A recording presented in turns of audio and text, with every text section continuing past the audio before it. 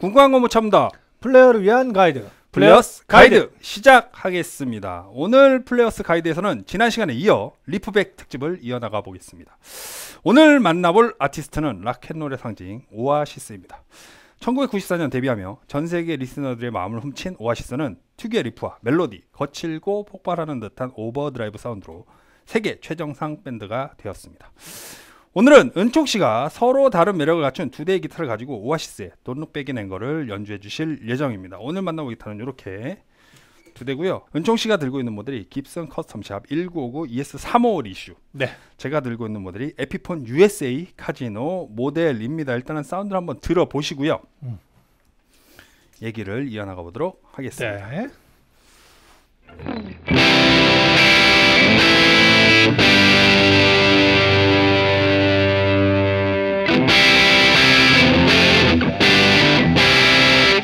이거 사야죠.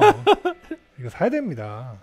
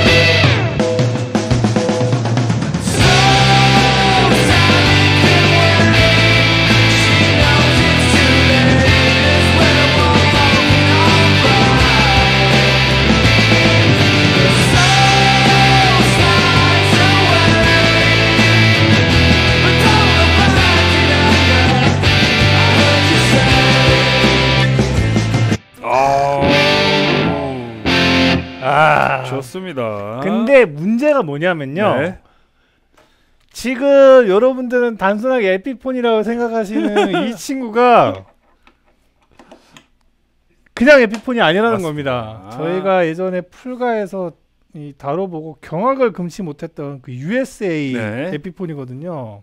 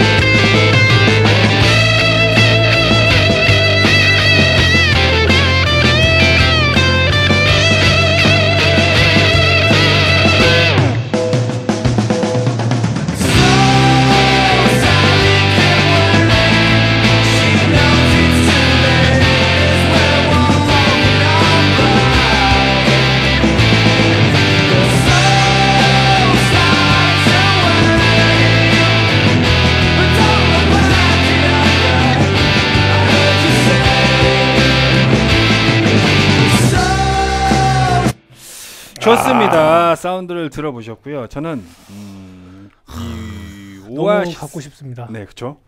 굉장히 매력적인 기타고 가볍고 이 먼저 이 리프백에 대해서 설명을 드리자면 네. 원래는 은총 씨가 의견을 내주셨을 때 취지는 원래 이 방향은 아니었어요. 맞아요. 뭐냐면 슈퍼 스트레스로 돈룩백이 낸 거를 연주를 하면 어떻게 될까? 음, 혹은 뭐 이 메탈 기타를 가지고 발라드를 연주를 하면 어떻게 될까? 음. 이게 원래는 포커스였어요. 그래서 지금까지는 레드 칠리 페퍼스도 그렇고 오아시스도 그렇고 그 밴드를 연상시키는 기타를 가지고 저희가 방영을 해드리지만 앞으로는 음. 좀더 음, 이것도 하고 그죠. 그것도 하고 맞습니다. 이런 식으로 그런 식으로 한번 진행을 하는 것을 음, 저희가 목표로 삼고 있습니다. 이 오아시스라는 밴드, 음, 뭐 말하면 입만 아프지만 이 그게 문득 떠올랐어요. 오늘 돈룩백의 앵거를 연주를 해주시는데 제가 아는 형이 이 미국에 갔을 때 펍에 들어갔을 때 이, 거기서 이제 음악이 계속 흘러나올 거 아니에요. 근데 이 두 곡이 있었습니다. 모든 사람들이 노래가 나왔을 때 떼창을 하는 음, 다 하나가 되는 노래가 두 곡이 있었는데 다양한 음악이 있었지만 하나는 콜드플레이의 비바랍이다. 음. 그거를 다 따라 부르더래요. 모든 사람들이. 두 번째가 이 돈룩백이 낸 거. 돈룩백이 낸 거는 어느 곳에서나 음악이 이렇게 나오기 시작하면 사람들이 다 따라 부르는 음. 음, 그런 명곡 중에 하나죠. 그리고 저희가 이제 이 제가 이 친구랑 저도 오아시스를 굉장히 좋아하고 친구도 오아시스를 굉장히 좋아하는데 그 얘기를 한 번 한 적이 있었어요. 같이 그 오아시스 다큐멘터리 슈퍼소닉을 보다가 제가 물어봤거든요. 오아시스가 멋있어서 떴을까? 떠서 멋져 보이는 걸까? 라고 물어봤는데 이 그 자리에 있었던 모든 친구들은 멋있어서 뜬 거다. 음. 라는 얘기를 했었습니다. 저 역시도 동감을 하고요. 굉장히 이 멋지죠. 음. 음, 지금 시대에 오아시스를 모르는 친구들도 있겠지만 음. 어, 우리 때는 정말로 이 살아있는 전설 같은 그죠 밴드였고 많은 연주자들한테 영감을 줬던 맞습니다. 어, 팀이었습니다. 오늘 두 대의 이 멋진 기타를 다뤄보셨는데 느끼신 소감을 공유해 주시면 좋을 것 같아요. 그 오아시스는 뭐 물론 여러 레전드 밴드들이 있지만 어 저희 나이 때는 진짜 real time으로 봤던 네. 밴드죠. 음. 음, 그러니까 제가 94년도 때가 이제 초등학교 이제 4학년일 네. 텐데 그때 제가 뭐 오아시스 테이프 CD를 사서 듣지는 못했지만 어디선가 뭐 음. 듣기도 했었고 네. 그러니까 너무 오아시스라는 이름을 알 수 있었던 밴드고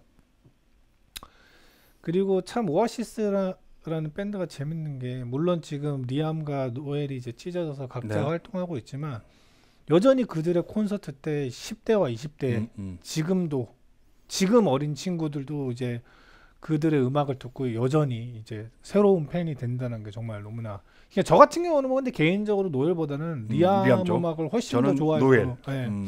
저는 지금도 리암의 이제 신보들이 나올 때면 뭐 이렇게 계속 듣고 최근 앨범들 뭐 어, 어제도 그저께도 리암 앨범 음, 네. 들었거든요. 그러니까 저는 리암을 워낙 좋아해서 오늘 이 두 기타 여러분 어떠셨나요? 그러니까 음. 사실 이 이 두 기타는 뭐 모르겠어요. 이게 사람들마다 음.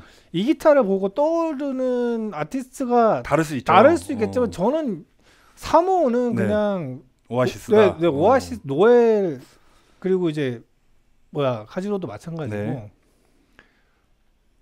그리고 이제 노엘이 또 그 뭐야 3호 그리고 레스폴도 잠깐 많이 썼죠. 많이 네, 썼고 네. SG도 썼었고. 그리고 이제 재즈 마스터 네, 재즈 마스터 재즈 마스터도. 많이 쓰고 네. 그리고 non reverse 파이어버드도 쓰고. 음 그죠 그죠 음. 그러니까 뭐 노엘이 3호도 썼고 뭐 레스폴도 썼고 음. 뭐 재즈 마스터 네. 그리고 또 뭐가 있었을까요? SG도 썼었고. 어, SG 도 썼고. 뭐 많이 썼는데 근데 그래도 역시나 노엘 하면은 음, 저는 생각하는 그쵸. 거는 음. 이제 역시 이 세미알로 음, 우 기타가 가장 아름답고 물론 뭔가 노엘이 쓰는 모델과는 색은 다릅니다. 네. 그 그리고 일단 빅스비가 없고요. 겨자 먹기죠. 어 빅스비가 없고 근데 저 같은 경우는 제가 가지고 있는 3호는 뭐 블랙이긴 하지만 네. 빅스비 달려 있고 근데 여러분 이거는 정말 솔직하게 말씀드리는 건데요. 멋있어요. 네. 사실 3호에 빅스비 달려 있으면 음, 뭔가 기타가 음, 완성된 것 음. 같거든요. 근데 너무 무겁습니다. 그게 이제 저는 솔직히 말하면 제 3호에 있는 빅스비는 그냥 떼고 싶어요. 어, 네네. 근데 음. 애초에 달려 나온 음. 모델이라 기타에 구멍을 그죠, 뚫어야 그죠. 돼서 네. 저는 오히려 하, 음. 이게 이게 달려 있는데 아마 아 그러니까 처음부터 이렇게 나온 제품이 빅스비 나는 건 아마 제가 알기로는 더 쉬울 거예요. 그 네, 고정- 구멍을 뚫어야 돼요, 근데. 어. 네, 바디에. 아 그래요? 네. 여기 고정하고 이렇게 하는 게 하는 아닌가요? 액세서리들 따로 팔긴 하죠. 그죠. 그러니까 네네. 제가 말하는 어, 거는 어, 어. 완벽한 빅스비가 아니어도 네. 요즘 그런 제품들이 많아서 얘를 탈거하고 여기에 고정하고 맞습니다. 여기 네. 걸어서 하는 네. 게 있을 거예요. 근데 저는 애초에 음, 이- 이 자리에 네. 아무것도 음, 없기 음. 때문에 여기를 뚫어야 돼요. 음. 그래서 저는 이렇게 돌아가기가 사실 기타를 좀 훼손해야 네네네. 되는 게 음. 있거든요. 근데 이 모델은 그냥 여러분들 만약에 어 나 빅스비 간지 내고 싶은데 하면 음. 빅스비가 다시면 됩니다. 음. 그 액세서리가 있으니까. 그리고 이 카지노 이야기를 안 할 수가 음. 없는데 물론 여러분들 이 모델은 사실 가장 상징적인 뮤지션은 존 레논이겠죠. 그죠. 어. 근데 이거는 그냥 뭐 그 여러분들이 생각하는 그 저가형 에피폰이 아니고요. 그뭐 아시 뭐 아시겠지만 US의 음. 에피폰이고 소리가 음. 저는 그래서 와 이런 소리는 지금 에피폰 카지노밖에 안 나는 것 네. 같아요. 그 저희가 예전 플레이어스 가이드에서도 우리 둘다 음, 그냥 맞습니다. 경악을 어. 금치를 못했었는데 물론 이제 3호랑 옆에 있으니까 좀 체급적인 부분에서도 얘가 좀 더 두툼한 느낌은 네. 있지만 이 P90 픽업만이 가지고 있는 음. 이 그리고 이 열려 있는 이 소리가 음. 정말 일품이거든요. 저는 또 이거 보면은 음. 제가 그때 기억 아니 까남 형님 이거 사고 싶다 했는데 아마 어. 팔려서 못 사는 네네. 걸로 알고 음. 있어요. 그래서 아마 까남 형님도 음. 조만간 기타를 사시지 않으실까. 그리고 비틀즈 팬이시거나 뭐 오아시스 팬이시면 네. 이 기타는 정말 괜찮은 것 맞습니다. 같습니다. 뭐 맞습니다. 이 친구가 솔직히는 뭐 제가 이제 기타면서 농담 삼아 올해 머피랩 하나 들이셔야죠. 음, 음, 음. 뭐 오구 하나 들이셔야죠. 이랬는데 이거는 여전히 약간 좀 네. 부담스럽지만 이 친구는 괜찮잖아요. 음. 그래서 너무 좋은 모델이니까 이번에 들어보시고 추억도 어, 곱씹으시면서 기타 하나 또 어, 가지면 좋으시겠습니다. 그렇습니다. 저는 오늘 은총 씨의 연주를 들으면서 문득 이런 생각을 가져봤습니다. 이 다양한 연주자들, 그 연주자들의 톤을 훔치기 위해서 연주자들 많은 노력을 기울이지 않겠습니까?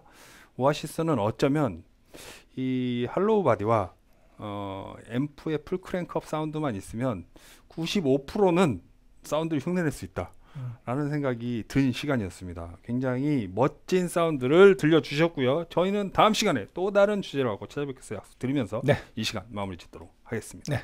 궁금한 거 못 참다. 플레이어를 위한 가이드 플러스 가이드. 다음 시간에 뵙겠습니다. 감사합니다.